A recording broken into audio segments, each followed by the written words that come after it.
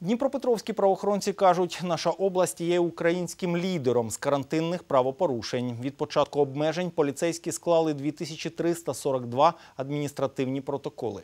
Здебільшого притягають до відповідальності юридичних осіб, де штраф передбачений у розмірі від 34 тисяч до 170 тисяч гривень.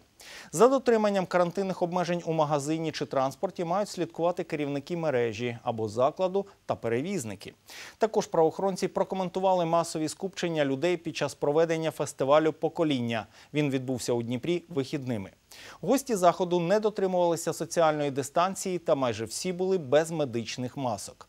До відповідальності вже притягнули адміністрацію комплексу, на території якого проводили цей захід. Я думаю, що відео бачили всі і, і розуміли, що там ні про яку ні дистанцію, ні про норми одна особа на 5 квадратних не йшлося. Тому саме, саме адміністрація ми тепер будемо притягувати до відповідальності. І таким чином, я думаю, що ми не будемо допускати в подальшому. Я скажу відверто, не один заклад за вихідні.